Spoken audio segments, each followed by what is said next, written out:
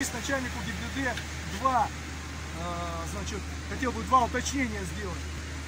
То есть у нас вопрос э, стоит в чем, в чем? У нас две организации проводят работу, одна благоустроительная, вторая ремонтные работы. Э, С вами должны были согласовать организацию дорожного движения, чтобы здесь не создавать пробки на территории, возможность объезда. Поэтому здесь хотел к вам обратиться, это с вами все согласовано? проекты поставлялись. Мы как такой проект не согласовываем, мы, нас уведомляют о производстве работы, а мы контролируем соблюдение э, того, что в проекте указано.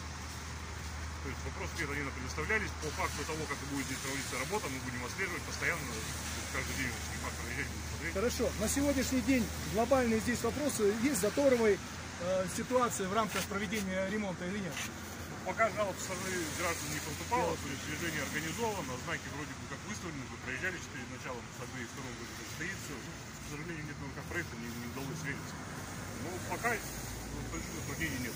Ну хорошо, тогда вам спасибо. В любом случае, если что, э, значит, будет как- как- какие-то вопросы, связанные с организацией дорожного движения, вы смело, телефон есть у вас мой, звоните, говорите.